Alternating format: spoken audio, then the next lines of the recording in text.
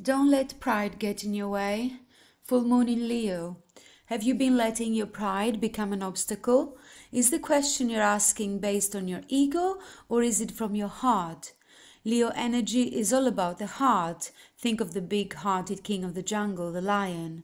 Its energy is magnificent, but when it's combined with the rush of the full moon, it can become over the top.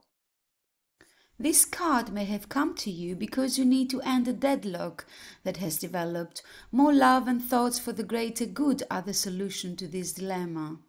If you're not being doing as you would be done by lately, this is the time to find a balance between your own needs and the needs of the people around you. This will help all your relationships. Attune to the moon.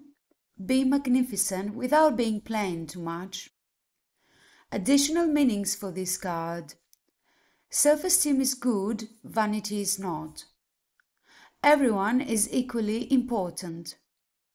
Creative urges should be followed, work some magic. And a friendship may be ending now. The teaching.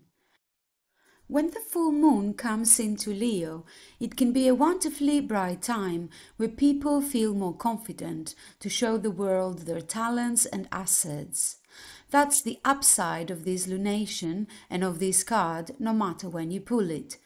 However, take note that the Leo full moon combination creates a sort of tension between your needs and the needs of people in your networks.